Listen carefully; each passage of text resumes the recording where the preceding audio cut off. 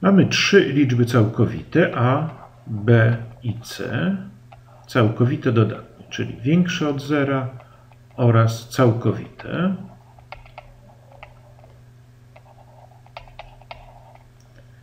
Wiemy także, że a plus b podzielone przez c jest całkowite.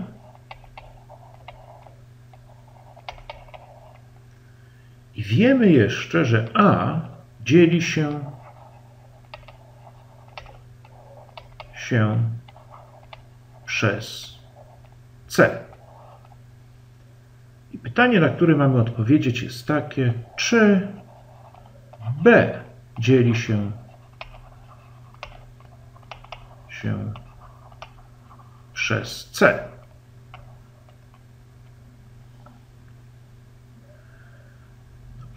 Zauważmy, że pytanie, czy b dzieli się przez c, to jest to samo, to znaczy, prawda? b dzieli się przez c, to znaczy, że b jest wielokrotnością c. No, to znaczy, przeformułujmy to pytanie, czy b jest wielokrotnością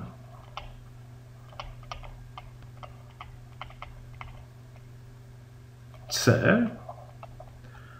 Jeszcze jedna forma tego pytania to jest to znaczy, czy, no jeżeli b jest wielokrotnością c, to znaczy b przez c jest liczbą całkowitą.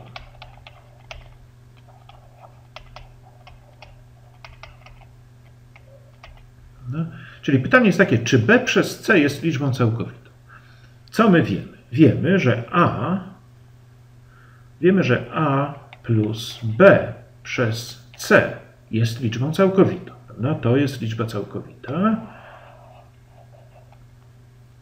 No i teraz pytanie, czy b, jakoś może przekształćmy to wyrażenie w ten sposób, aby mieć b przez c. No, a plus b przez c to jest to samo, co a przez c plus b przez c.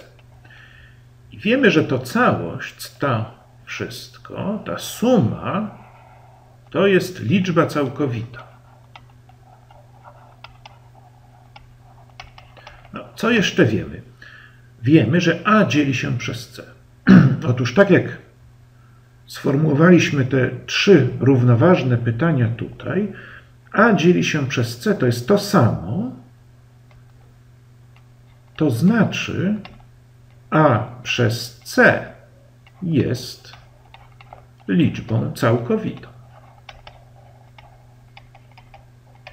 Aha, czyli ta suma jest liczbą całkowitą i wiemy, że to, prawda, że ten iloraz tutaj jest liczbą całkowitą.